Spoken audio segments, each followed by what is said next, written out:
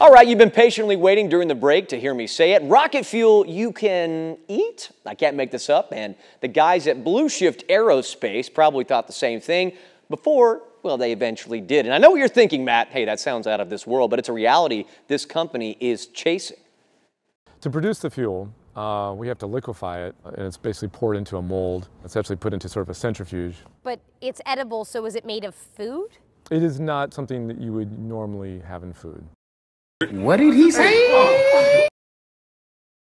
oh, you heard him right.